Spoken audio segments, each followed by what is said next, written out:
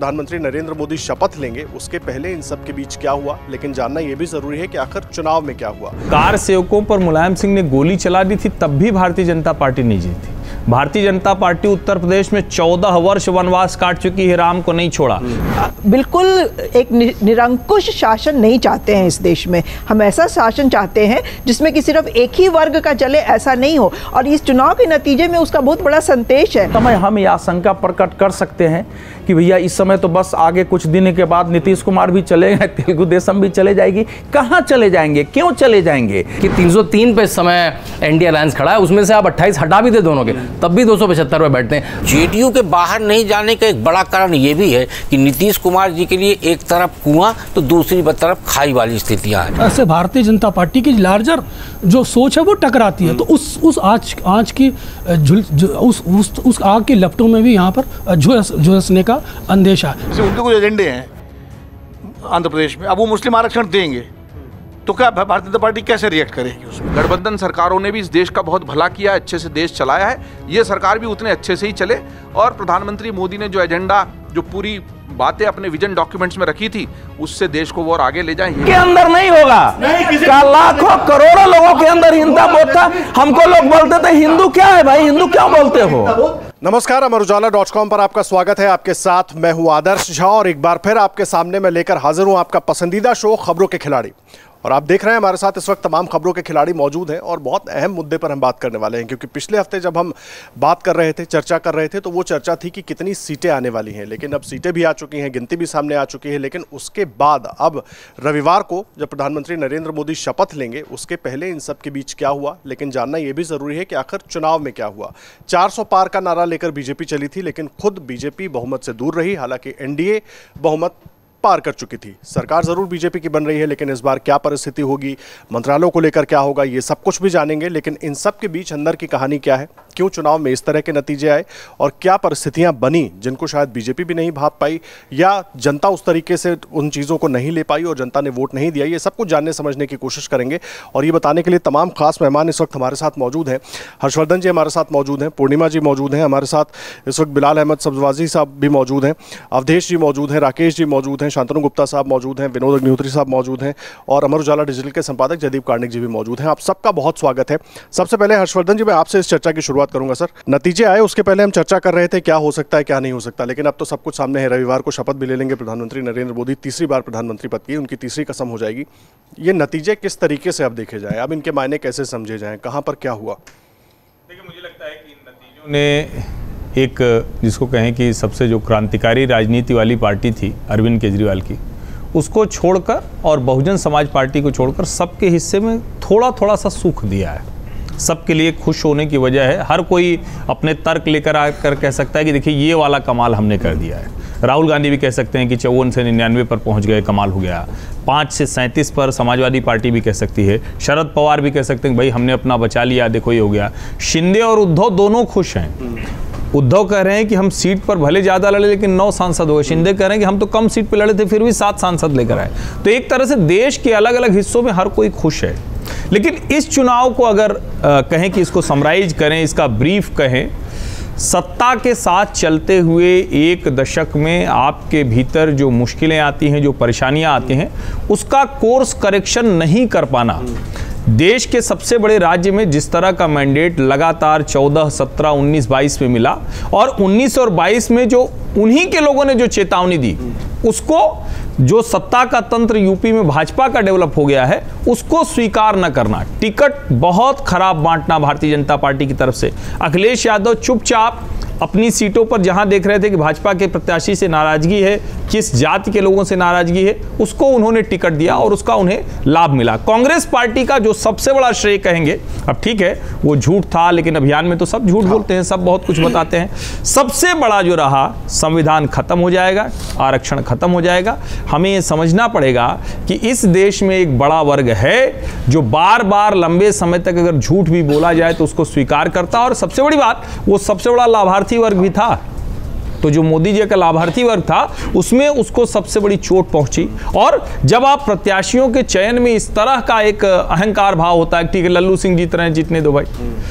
रायबरेली की सीट पर दिनेश प्रताप सिंह को क्यों टिकट दिया जाना चाहिए था? हम लोग पहले भी इसकी बात करते थे। इलाहाबाद जैसी सीट पर आपको कोई अपना नेता नहीं मिला। नीरज कभी नेता रहे ही नहीं। कृष्णा जी के सुपुत्र हैं लेकिन नेता तो रहे नहीं। श्रावस्ती से नृपेंद्र मिश्रा के पुत्र साकेत मिश्रा को क्यों टिकट दिया जाना चाहिए था? ये बड़ा सवाल है। और देखिए बड़े सवाल उस पर भी खड़े होंगे कि जो इस पार्टी के बड़े नेता हैं क्या वो अपने लोगों को टिकट दे पाए? अगर आखिरी समय में अमित शाह को मीटिंग कर करके धनंजय सिंह और रघुराज प्रताप सिंह को साधना पड़े वो भी नहीं सदे। तो फिर सवाल तो सबके ऊपर खड़ा होगा हाँ। तो भारतीय जनता पार्टी के लिए कोर्स करेक्शन का समाजवादी पार्टी के लिए खुश होते हुए इस फॉर्मूले को कितना आगे ले जाएँगे? कांग्रेस पार्टी के लिए जो वो चाहती थी बहुजन समाज पार्टी समाप्त हो जाए। मुसलमान कर्नाटक से उसको मिलना शुरू हुआ। और देखिए छोटी बात नहीं होती। कर्नाटक के समय में उन्होंने पीएफआई के बैन के सामने बजरंग दल पर बैन की बात कर दी थी। अब क्या जो राम के नाम पर वोट नहीं पड़ा पड़ा उसको स्टेब्लिश करने की कोशिश कर रही है। वो उल्टा भी पड़ सकता है क्या? ये कांग्रेस को देखना चाहिए। यह बात आप कह रहे हैं। पूर्णिमा जी आपको भी इसी तरीके से लग रहा है ये तमाम कारण या आप कुछ और ऐड करेंगे? और खास करके बीजेपी की तो हम बात कर रहे हैं थोड़ा विपक्ष पर भी फोकस कर लें दोनों की बात कर लें। नहीं कारण तो ये सारे बिल्कुल सही हैं और जैसे कि अभी इन्होंने बताया वो सब चर्चा में अब आ रहे हैं। पहले से अगर ये चर्चा फ्रीली चर्चा अलाउड होती तो शायद जहाँ मैटर करता, वहाँ भी पहुँचती ये बातें। तो पहले तो सबका मुँह जिस तरह से सिला हुआ था ऊपर से तो कोई बोल नहीं पा रहा था। अब लोग खुल के बोल रहे हैं तो उससे तो मैं बिल्कुल सहमत हूँ। ये लेकिन एक मायने में बहुत इंटरेस्टिंग चुनाव है कि जो हारा इस चुनाव में वो खुशी मना रहा है जश्न मना रहा है और जीता ठीक है जीता जो वो सरकार बना रहा है खुशी उधर भी है लेकिन जिस दिन रिज़ल्ट आउट हुए थे वो जीता हुआ बिल्कुल हारे हुए की तरह मुँह लटकाए घूम रहा था। ऐसा एक माहौल अजीब सा है। ये इस मायने में चुनाव हमेशा याद किया जाएगा। दूसरा जो आपने कहा कि ये अ, आगे की हमने अपने पिछले चर्चाओं में भी कई बार कहा था कि ये चुनाव ऐसा है जो कि अभी तक जो मोदी जी ने दिशा, देश को दिखाई थी, क्या उसी रास्ते पे बढ़ेगा या उसमें कुछ करेक्शन की ज़रूरत है? तो हमें अब समझ में आ रहा है कि करेक्शन की ज़रूरत है। उस वक्त इन लोगों ने सुना नहीं, उसको समझा नहीं, लेकिन जनता ने अपना वत, मत जिस तरह से दिया है, उसको लेके बिल्कुल साफ़ मैसेज है कि जो अभी तक दिशा आपकी थी ओवरऑल ठीक है बट कोर्स करेक्शन की बहुत ज़्यादा गुंजाइश है। और दूसरा एक जो एब्सोल्यूट पावर वाली फीलिंग आ गई थी सत्ता पक्ष में उसको भी इस चुनाव के नतीजों ने तोड़ने का काम किया है। बैलेंसिंग डिसेंट को बर्दाश्त करना सबकी सुनना सबको साथ लेके चलना ये पिछले दस सालों में ये बिल्कुल न, बिल्कुल विलुप्त हो गया था हमारे सामाजिक और राजनीतिक डिस्कोर्स से। अब वो चीज़ वापस आएगी जिसकी हमें खुशी है। समाज के समाज ही क्या? पार्टी के भीतर के भी अपने हर तबके के लोगों की बात सुनी जानी चाहिए थी। अब जैसा इन्होंने बताया कि अपनी ही पार्टी के लोगों की नहीं सुनी गई तो जो समाज में बाहर से आवाज़ें आ रही थी वो कोई सुनने वाला था ही नहीं। जो किसी भी देश के लिए अच्छा नहीं होता है। तो मैं तो खुश हूँ इस चुनाव के नतीजों से खुश हूँ क्योंकि अब सरकार जो चलेगी वो चेक्स एंड बैलेंसेस के साथ चलेगी। और किसी भी डेमोक्रेसी के लिए ये बहुत ज़रूरी है कि एक मज़बूत लीडरशिप हो ज़रूर हो लेकिन उस पर चेक्स एंड बैलेंसेस हो और डिस्कशन एंड डायलॉग की गुंजाइश हो जो शायद अब इस सरकार के दौरान हमें दिखाई देगी। ये हम बात आप कह रही चेक्स एंड बैलेंसेस बहुत इंपॉर्टेंट है Rakesh sir. Checks and balances तो इंपॉर्टेंट है लेकिन बहुत सारे चेक्स एंड बैलेंसेस करके टिकट बांटे गए थे सब कुछ हुआ और सभी की मैं बात कर रहा हूँ। लेकिन नतीजे जिस तरीके से आए पूर्णिमा जी ने कहा कि एक पक्ष जो हार कर भी खुशी बना रहा था दूसरा पक्ष वो खुशी उस तरीके से ज़ाहिर भी नहीं कर पाया। सरकार भले बन रही है परिस्थितियाँ कहाँ फंस गई आगे? देखिए हम जहाँ हारे वहाँ पे चर्चा करते हैं लेकिन हम जहाँ जीते वहाँ की चर्चा नहीं करते। यदि हम प्रयागराज हारे हैं और त्रिपाठी को टिकट देना ठीक नहीं था तो हम कानपुर में रमेश अवस्थी को टिकट देने का ऐसे ठीक मान लें, क्योंकि हम जीत गए। रमेश अवस्थी क्या इतने बड़े नेता थे? क्या वो इतने बड़े नेता थे? और बरेली बरेली से संतोष गंगवार की जगह पे छत्रपाल को टिकट देना कितना उचित था? सवाल ये है कि हमें इस बात की, दोनों सभी दलों को इस बात की समीक्षा शुरू करनी चाहिए कि हम क्यों जीते। जब वो ये समीक्षा कर लेंगे कि हम क्यों जीते तो मुझे लगता है हार का कारण जानना आसान होगा। भारत जो 2024 का नतीजा है आदर्श जी, उसको समझिए कि सामाजिक न्याय के नाम पर राजनीतिक दलों की तरफ़ से एक लाभार्थी वर्ग तैयार किया गया, बड़ा लाभार्थी वर्ग। फिर राजनीतिक दलों ने उस लाभार्थी वर्ग को लालची वर्ग बनाने का प्रयास किया और उसी का नतीजा है 2024 अब आप इसको कहाँ रोकेंगे?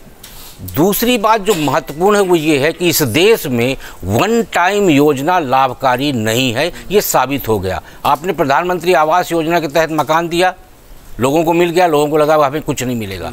उज्ज्वला योजना के तहत आपको कनेक्शन मिल गया, आपको लगा कि इस पार्टी से या इस सरकार से हमें कुछ नहीं मिलेगा। सौभाग्य योजना से बिजली मिली, नल जल योजना से नल मिल गया।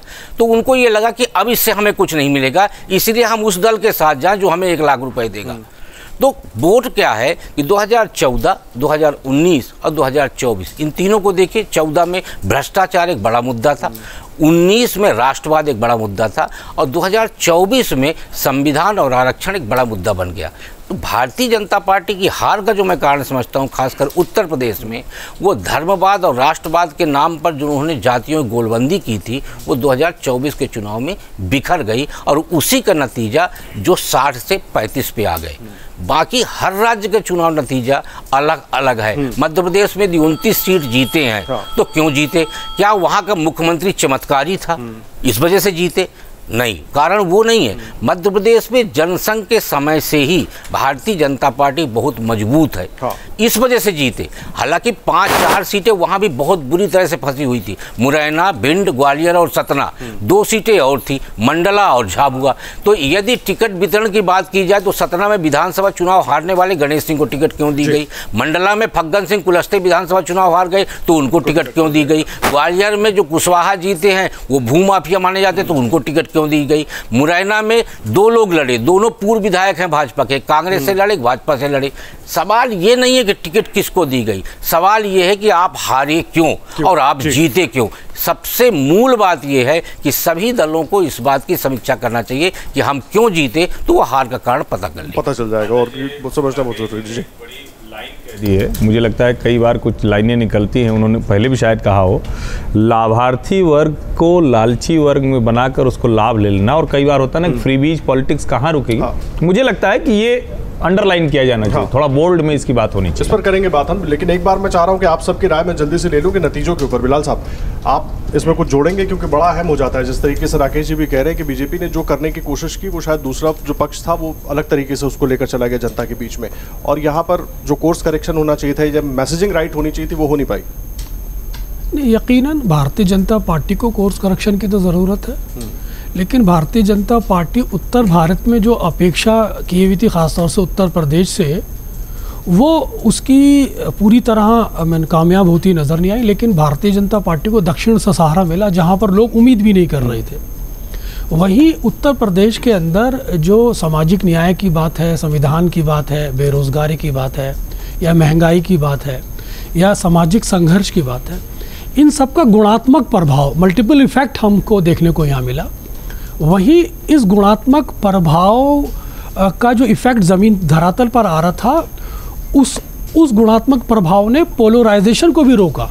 जो पोलराइजेशन एक, एक करने की कोशिश की जा रही थी एक स्ट्रेटजी के माध्यम से जो ज़बान बोली जा रही थी उस उस फैक्टर में भी समाज का एक बड़ा वर्ग जो वंचित वर्ग है, पिछड़ा वर्ग है, या जो जो गरीब वर्ग है, वो नहीं फंसा कि उसने अपनी अपनी ज़रूरतों को प्राथमिकता दी और उसके चलते उसने अपनी आँख अर्जुन मछली की आँख पर रखी और उसने पता, उसको ये एहसास था कि अगर परिवर्तन अगर हम इस समय हम नहीं करेंगे तो सत्ता पक्ष जो जिस तरह से हमें हमेशा झांसों में फंसाता आया है उस बार हम फिर पूरी तरह फंस जाएँगे। तो उसने अपने मुद्दों पर फोकस होकर वोट किया।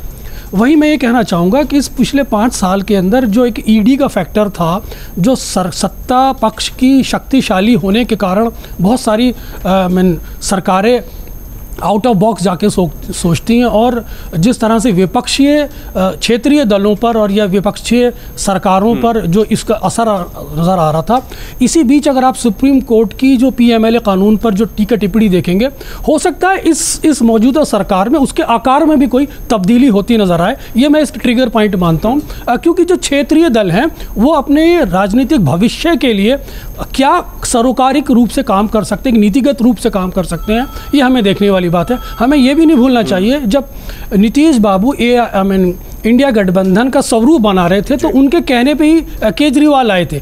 तो केजरीवाल या हेमंत सोरेन जो ईडी का शिकार है क्या अब ऐसी परिस्थितियों में जो क्षेत्रीय दल हैं जो इसका शिकार रह चुके हैं वो इस कानून में कोई परिवर्तन की मांग करते हैं? ये ट्रिगर पॉइंट हो सकता है। इस पर नज़र रखना होगा। ये अहम बात आप उठा रहे हैं ट्रिगर पॉइंट हो सकता है। अध्यक्ष सर, पिछली चर्चा में जब हम कर रहे थे तो आपने बहुत सारी बातें कही थी और ये भी कहा था कि कार्यकर्ताओं की भी नहीं सुनेगी टिकट को लेकर के भी तमाम सवाल आपने उठाए थे, ये मैं बीजेपी की बात कर रहा हूँ। लेकिन ओवरऑल अगर आप पूरी तस्वीर देखें, अब तो और ज़्यादा साफ़ हो गई है। बिल्कुल साफ़ हुई है। हर्षवर्धन त्रिपाठी जी ने जहाँ से शुरुआत की, देखिए, ये चुनाव परिणाम ऐसा है, जिसमें अगर दो तीन दलों को छोड़ दीजिए तो सबके लिए संतोष के और सबके लिए सुखी और अंदर से जो है राहत महसूस करने का आधार दे दिया है मतदाताओं ने। अब शरद पवार जी भी है कि भैया हमको तो अब मिल मिल गया जो है, नौ सीट, हमको दुख नहीं है। उद्धव ठाकरे कह रहे हैं कि हमने भी इतना प्राप्त कर लिया, हमको भी नहीं है। तो इसमें तो समाजवादी पार्टी ने तो सैंतीस सीट के अभूतपूर्व प्रदर्शन है। तृणमूल कांग्रेस है, कांग्रेस कह रही है कि हम निन्यानवे तक आ गए हैं। केवल दो पार्टी जिनमें से एक का इन्होंने नाम लिया आपका, लेकिन राष्ट्रीय जनता दल का नहीं लिया।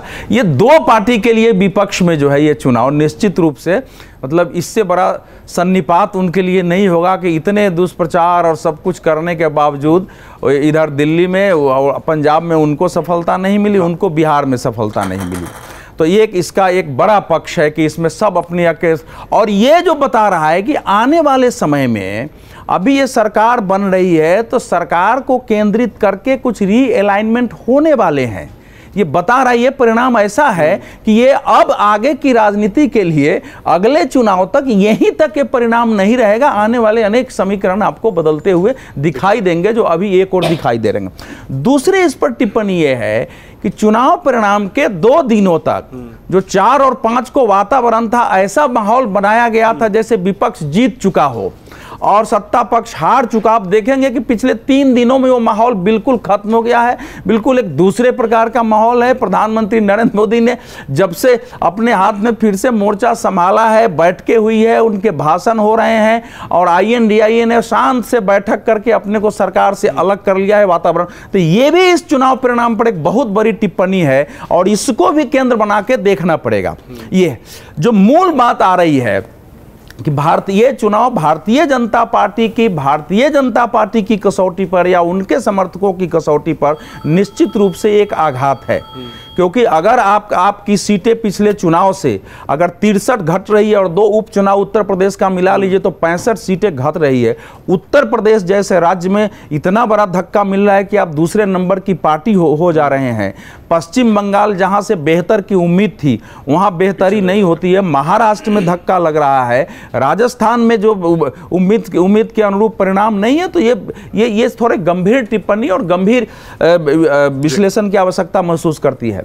देखिए कहीं अगर कोई जीत गया है इसका ये मतलब नहीं कि वो कारण वहाँ लागू नहीं होते हैं और जहाँ हार गया है उसका ये मतलब नहीं कि वहीं केवल वो कारण लागू होते हैं। बहुत सारे जो कार्यकर्ता हैं समर्थक हैं अनेक बार मन महसूस कर कहीं काम करते हैं कि चलो कर देते हैं। कहीं वो नहीं करते हैं कहीं उदासीन हो जाते हैं कहीं विरोध करते हैं। तो इसलिए परिणाम आपको मिश्रित दिखाई देगा। जहाँ तक गुजरात और मध्य प्रदेश का सवाल है देश में रिकॉर्ड कम वोटिंग हुई है वहाँ। मध्य प्रदेश गुजरात और केरल तीन सबसे कम मैंने अगर मार देखिए तो पिछले चुनाव के हिसाब से इतनी कम वोटिंग हुई लेकिन वहाँ का परिणाम देखिए। अब गुजरात मध्य प्रदेश में जब विपक्ष है ही नहीं Yeah. मैंने सत्तर परसेंट कांग्रेस ज़िले ज़िले में जब समाहित हो गई है पार्टी में तो वहाँ वोट कम भी हो जाएँगे तो परिणाम वही आने वो वो एक एक बड़ा बड़ा कारण इसको यह देखिए इसका यह मतलब नहीं है कि वहाँ वो कारण विद्यमान नहीं थे, नहीं थे।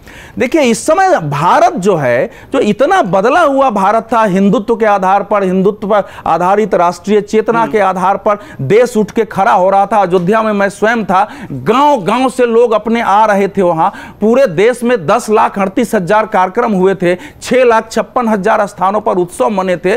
विरोधी कहने लगे थे कि तो अघोषित हिंदू राष्ट्र हो गया हुआ है। वो माहौल अगर कायम नहीं रहा तो इसका कारण सामान्य नहीं हो सकता है कि लोगों ने आके तो वहाँ उत्सव मनाया और जाके वोट देते समय भूल गए होंगे। तो यह कैसे हुआ है? और उस राम जन्मभूमि को राजनीति संस्कृति के दृष्टि से सत्ता की दृष्टि से आगे ले जाना लोगों के मन में अस्थायी रूप से उसको वोट देने का आधार कायम करने में कहाँ पीछे रह जाएगा? एक बहुत बड़ा है क्योंकि विपक्ष ने भी आगे चल के उसको उतना बड़ा मुद्दा नहीं बनाया। और मैं फिर कह रहा हूँ कि अगर आप फरवरी से लेकर के आगे के डिबेट को देखेंगे तो आपको राम जन्मभूमि दिखाई नहीं पड़ेगा। बीच में दिखाई दे रहा था सारे डिबेट इधर से उधर हो गए हैं। तो मन में वो वो स्मृतियाँ भी नहीं रहती है। मैं बार ये जो बीजेपी का इस समय देखिए एक छोटी छोटी उम्मीदवारों का उम्मीदवार का चयन गलत कैसे होता है? अगर उम्मीदवार चयन करने वाले अपने विचारधारा को लेकर अपने लक्ष्य के लेकर बिल्कुल प्रतिबद्ध हैं कि ये हमारा लक्ष्य है तो उम्मीदवार तो उसके अनुरूप होना चाहिए ना। अगर उसके अनुरूप उम्मीदवार नहीं है नरेंद्र मोदी उम्मीदवार का चयन करते हैं और वो उम्मीदवार में नरेंद्र मोदी का चेहरा नहीं है हिंदुत्व का चेहरा नहीं है तो उनके नाम पर वोट कैसे मिलेगा? कार्यकर्ता कैसे काम करेंगे? तो सवाल है सर यही तो हम लोग समझने की कोशिश कर रहे हैं। पूर्णिमा जी मैं आऊँगा एक बार जल्दी से। ऐड करना चाहती हूँ। राम मंदिर जहाँ जिस स्टेट में बना जिस जगह बना वहाँ से बीजेपी का हार जाना उसी प्रदेश में नंबर दो वो भी बहुत पीछे आ जाना। ये सारा नैरेटिव राम मंदिर के अराउंड जो बुना गया था बीजेपी को ये समझने की ज़रूरत है कि सिर्फ़ वो नैरेटिव उनको वोट नहीं दिला नहीं सकता है। ये कम से कम आप समझ में आ गया होगा शांतनु जी मैं आ रहा हूँ कैसे समझ में आ गया होगा। नहीं क्योंकि जिस तरह की चर्चा हो रही है नहीं नहीं नहीं सुनिए सुनिए ऐसे नहीं। आपको पूर्णिमा जी ने अपना एक विश्लेषण दे दिया। अरे राम जन्मभूमि एक मंदिर नहीं है। वो भारत के दुनिया भर के हिंदुओं के सांस्कृतिक पुनर्जागरण का केंद्र रहा है वो। इसीलिए वो आधार का ज़रिया नहीं बन ऐसा- इसीलिए वो वोट का ज़रिया नहीं बन हाँ, सकता। जब- चुनाव में जब चुनाव में बीजेपी ने उसको उस ढंग से मुद्दा बनाया नहीं अब तो आपने तो रोक दिया है ना इसलिए मैं रुक गया था। कि आप आगे आएँगे तो बताऊँगा। देखिए ऐसा है कि नैरेटिव जो है जो जो बीजे बीजेपी के पास इस समय क्या था? राम जन्मभूमि को केंद्र बना के बाकी नैरेटिव चारों ओर खड़ा करना था। आपने इतना परिश्रम किया था, उसके बाद उसके परिणाम का पता चलता। लेकिन अगर आप ऐसी स्थिति पैदा हो गई कि यूपीए के विरुद्ध एक एक एक व्हाट मतलब व्हाइट पेपर आया संसद में। उस व्हाइट पेपर में पहले उम्मीद थी कि उसमें कुछ विस्फोटक चीज़ें होंगी और मोदी जी ने स्वयं घोषणा किया था, वो व्हाइट पेपर को ब्यूरोक्रेट्स ने उसकी भाषा को इतना माइल्ड कर दिया संसद में कि उसमें वो सब चीज़ें थी कि बैंक हमारे कैसे डूबे हैं, कैसे इकोनॉमी गई है कैसे भ्रष्टाचार हुए हैं लेकिन वो भी नहीं बन सका है। आपको देखना पड़ेगा कि इस बार जितने भी नारे आए वो पाँच दिन सात दिन से चल नहीं पा रहे थे। मो, मोदी का परिवार जो है वो चल तो ये सब क्यों हो रहा था? ये चीज़ें समझने की ज़रूरत है। बाकी उनका तो आएँगे सर एक बार मैं आप सबकी जल्दी से प्रतिक्रिया ले लूँ क्योंकि नतीजे जो है ना वो बहुत बड़े हैं और उनके मैसेज भी उतने ही बड़े हैं। शांतनु जी। देखिए भाजपा की जीत चाहे बड़ी होती है आप छोटी है। मैं पहले से कहता आ रहा हूँ कि ये बहुत ऑड्स के अगेंस्ट में भारत में आ, केवल ऐसा पहली बार पहला पहला दूसरी बार हो रहा है कि कोई लगातार तीसरी बार प्रधानमंत्री बना और ऐसा विश्व भर में है। चाहे मार्गरेट थेचर हो, चाहे टोनी ब्लेयर हो, जो जितने पॉपुलर प्राइम मिनिस्टर प्रेसिडेंट रहे हैं, वो तीसरी बार आते आते शिथिल हो चुके हैं। तो इसलिए इस जीत को छोटा इसलिए नहीं आकर जाना चाहिए। विश्व भर में जहाँ पर भी कॉमन टैक्स सिस्टम आया जहाँ जीएसटी जैसा सिस्टम आया, उसके बाद जो चुनाव में गए, वो चुनाव हारे। कोरोना के बाद जो चुनाव में गए, चुनाव हारे। जो विश्व में मंदी आई, उसके बाद जब भी कोई विश्व मंदी आई, उसके बाद जो चुनाव में गए, वो हारे। इसलिए इस जीत को उन ऑर्ड्स के अगेंस्ट में भी आके देखना चाहिए। दूसरी बात इस चुनाव को आप किसी भी एक कॉमन थ्योरी से नहीं नाप सकते। कोई इंडिया की कॉमन स्टोरी नहीं है। अगर आप पाँच स्टेट हटा दें उत्तर प्रदेश वेस्ट बंगाल राजस्थान हरियाणा और महाराष्ट्र इनको हटा दें तो आप कोई कॉमन स्टोरी वी भी नहीं कर पाएँगे। आप जो कारण देंगे मैं कहूँगा फिर आप कहेंगे अग्निवीर मैं कहा हिमाचल और उत्तराखंड जहाँ से सबसे ज़्यादा लोग सैनिक जाते हैं वहाँ क्या दिक्कत हुई? आप कहते हैं महँगाई और बेरोजगारी तो बिहार में कम है क्या? वहाँ पे क्यों ठीक सीटें आ गई? और जहाँ तक सीट सिलेक्शन की बात है तो कि भाजपा की एक प्रणाली है सीट सिलेक्शन की कि स्टेट की टीम अगर मुख्यमंत्री है तो मुख्यमंत्री प्रदेश अध्यक्ष संगठन मंत्री एक पैनल लेके जाते हैं तीन का पैनल होता है राष्ट्रीय टीम एक सर्वे करके रखती है दो सर्वे कर रखती है मैच करती है पॉलिटिकल इंटेलिजेंस मैच करती है कि दूसरी पार्टी ने क्या टिकट दिया है विरोध है और टिकट देती है। तो उत्तर प्रदेश में भी वैसे ही टिकट बटा देखिए नरेंद्र मोदी तो बेकार कैंडिडेट नहीं थे। तो उनका वोट 63 परसेंट से 54 परसेंट क्यों हो गया? रवि किशन तो बुरे कैंडिडेट नहीं थे गोरखपुर की सीट थी उनका पर, उनका वोट प्रतिशत करीब 10 परसेंट से क्यों कम हो गया? तो मेरे ख्याल से एक बड़ा वोट शेयर शिफ्ट हुआ है और हम अमित शाह के जो फेक वीडियो रेवंत रेड्डी से चलाए गए मुझे पता नहीं लगता किसी भी चैनल में उसकी इतनी कम बात क्यों हो रही है। वो जो फेक गारंटी कार्ड सड़क सड़क पर दिए गए हाँ ये मानना पड़ेगा कि भाजपा उसको भाप क्यों नहीं पाई? भाजपा का आईटी सेल उसको काउंटर क्यों नहीं कर पाया? जब वो गारंटी कार्ड बंट रहे थे तो भाजपा का कार्यकर्ता कहाँ सो रहा था? उसने क्यों नहीं जाके और आज भी जाके कोई उस पर सौ पी क्यों नहीं कर रहा है कि भाई एक फेक कार्ड इलेक्शन कमीशन में एक तरह से वोट कैसे खरीदे गए और जहाँ जहाँ पे विपक्ष मज़बूत था वहाँ पे दिक्कत आई है। मध्य प्रदेश में विपक्ष ही नहीं है कोई बड़ा कांग्रेस की चार सीटों पाँच सीटों को छोड़ के प्रेजेंस कम हो गुजरात में नहीं है तो वहाँ वहाँ पे इसका विरोध नहीं हो पाया। मेरे ख्याल से जो फेक कैंपेन चला है बल्कि यूट्यूब में कम से कम सत्रह एम्प्लॉयज़ पे जो जो मेरी जानकारी, उस पर जाँच चल रही, कैसे उन्होंने शेडो बैन करा, कम से कम नब्बे से ज़्यादा पत्रकारों के यूट्यूब यूट्यूब चैनल्स को बड़े बड़े यूट्यूब चैनल्स ने जाके कहा है। तो ये जो प्रणाली जिसमें भाजपा बहुत आगे हुआ करती थी, उसमें भाजपा पीछे की हो गई? मुझे लगता है उत्तर प्रदेश में नरेंद्र मोदी, योगी आदित्यनाथ, काशी और अयोध्या, इसके चक्कर में जो स्लैक आ गया। और मैंने कई जगह जहाँ मैं गया तो देखा कि बूथ के कार्यकर्ताओं की मीटिंग है तो पचास लोगों को बुलाया गया तो बीस ही लोग हैं। वहाँ पे। तो जिस प्रणाली से वो जीता करते थे वोट को लाया करते थे अपने वोट मतदाता को अ, तो लाया करते थे वो वो मेरे ख्याल से अपनी बड़ी ब्रांड और नरेटिव के आगे उसको थोड़े शिथिल हो गए और वहाँ पे उनकी हार हुई। वहाँ पर बात फंस गई। विनोद सर बड़ा है मैं समझना क्योंकि सबकी अपनी अपनी राय है। अब एक पूरी बर्ड्स आई व्यू देखें तो बड़ा कई सारे कारण दिखाई देते हैं लेकिन चूक तो सबसे हुई ना कहीं ना कहीं कुछ जो एक दावा कर रहे थे जो दूसरा दावा कर रहे थे। नतीजे तो सबकी कहानी बता रहे हैं। हाँ ठीक है सबको खुश ज़रूर कर दिया।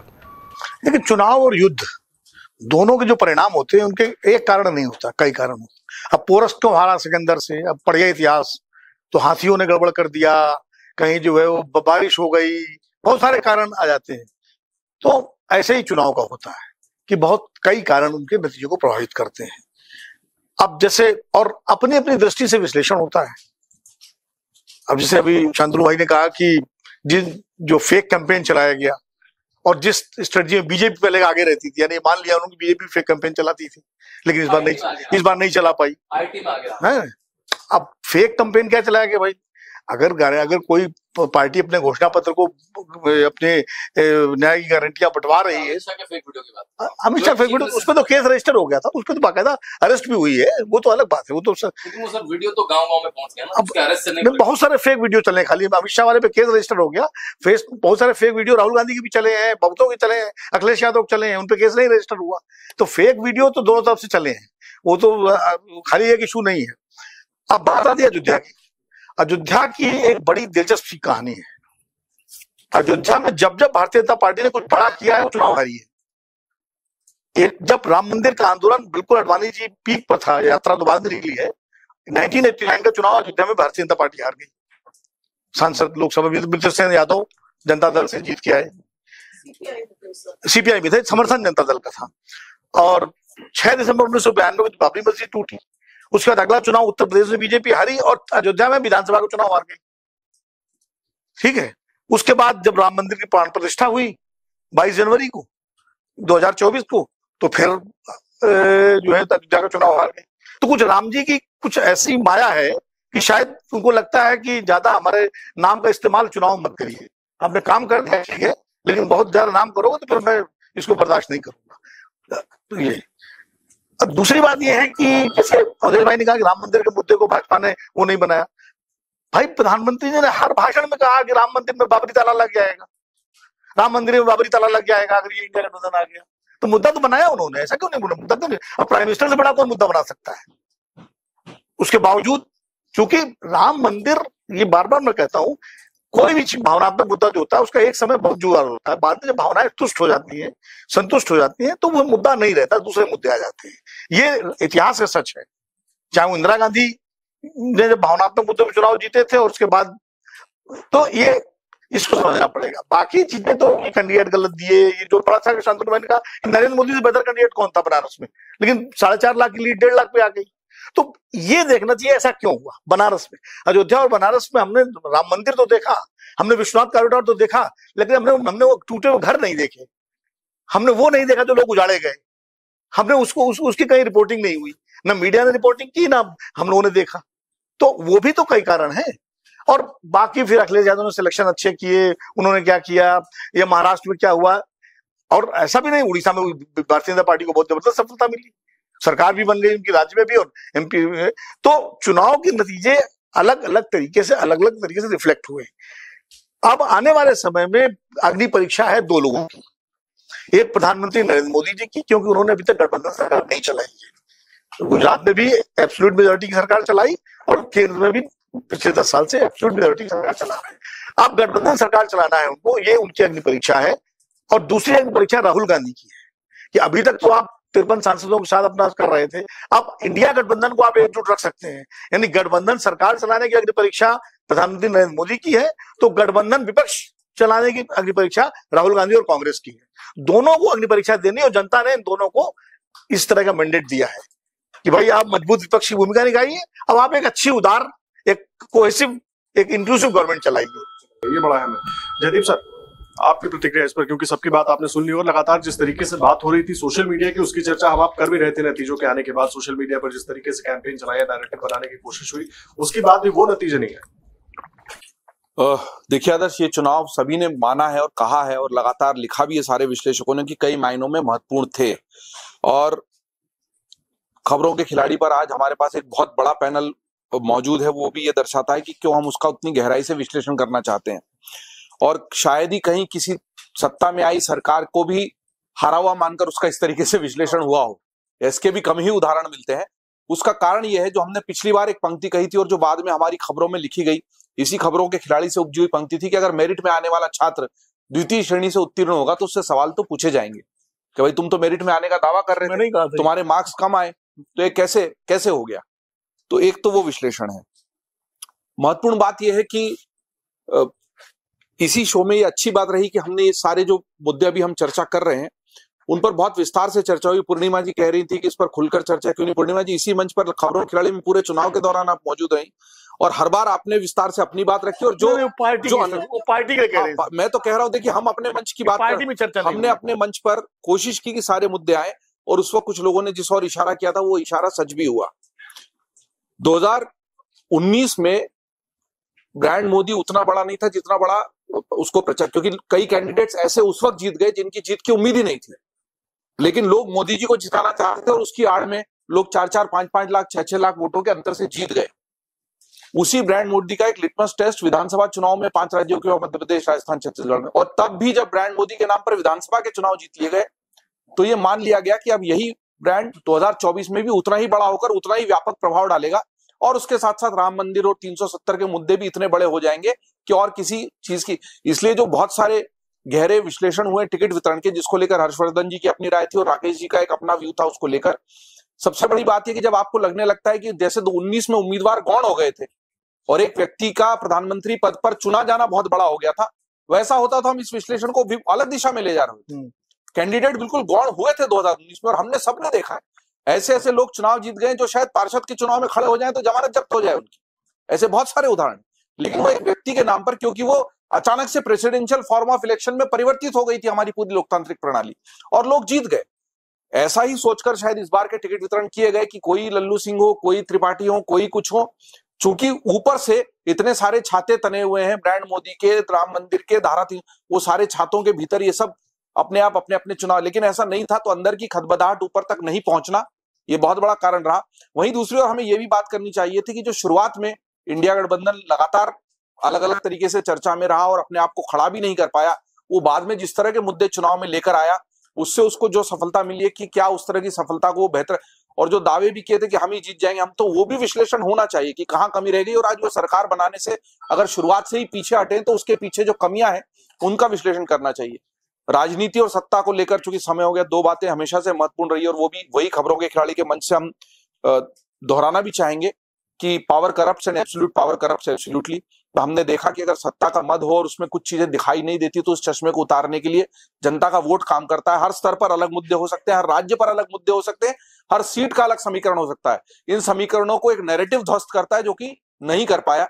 और दूसरी बात, एक बहुत अच्छी संपादकीय टिप्पणी की गई थी पहले वरिष्ठ पत्रकार राजेंद्र माथुर जी ने, और उसमें उन्होंने लिखा था कि कांग्रेस किसी पार्टी का नाम नहीं है, वो एक फिनोमिना है, और कोई भी पावर में अगर आएगा तो शने शने कांग्रेस हो जाएगा। तो जब भी तब्दीली उस तरफ़ जाती है, जब आप पावर में आने के बाद अपने आदर्शों और सिद्धांतों को भूलने लगते हैं तो उस, अपने जो संघ और संगठन जिनके माध्यम से आप खड़े हुए हैं, उनको भूलने लगते हैं, उसकी परिणति का सबक है। हर्षवर्धन जी कह रहे थे, सबके लिए खुशी है, कुछ पार्टियों के लिए सबक है। हम उम्मीद करते हैं कि खुशी और सबक मिलाकर भारत का लोकतंत्र कुल मिलाकर मज़बूत ही होगा। लेकिन देखिए, तमाम अलग अलग मुद्दों पर बात हुई, सरकार को लेकर क्या कुछ हुआ, उस पर हमारी बात हुई। किस तरीके से परिणाम आए, परिणाम के कारण क्या हो सकते हैं, सभी खबरों के खिलाड़ियों को आपने सुना। खबरों के बीच ये लोग रहते हैं, खबरों के मायने लगातार समझाते रहते हैं, उन सब चीज़ों को आपने समझा, कारण क्या हो सकते हैं और किस तरीके से आगे सरकार चलने वाली है, वो जानना भी बहुत ज़रूरी था क्योंकि लगातार लोगों के मन में बहुत सवाल थे, सबके अपनी अपनी राय है और इसीलिए सबकी हमने पूरी बातें सुनी है ताकि आप इस विषय को बहुत अच्छे से समझ सके और जो भी शंकाएँ आपके मन में है या जो अलग अलग बातें चल रही हैं, उनके हिसाब से आप इनकी बातों को सुनकर अपनी जो सोच है उसको दुरुस्त कर सके, अपना फैसला बना सके। खबरों के खिलाड़ी में लगातार आपके साथ और भी मेहमानों को हम जोड़ते रहेंगे अलग अलग मुद्दों पर बात करते रहेंगे, लेकिन आप देश और दुनिया की हर बड़ी खबर के लिए अमर उजाला डॉट कॉम पर हमारे साथ बने रहिएगा। अगर आप ये वीडियो YouTube पर देख रहे हैं तो हमारे चैनल को सब्सक्राइब करें और बेल आइकन को दबाना ना भूलें। अगर आप फेसबुक पर यह वीडियो देख रहे हैं तो हमारे पेज को लाइक करें।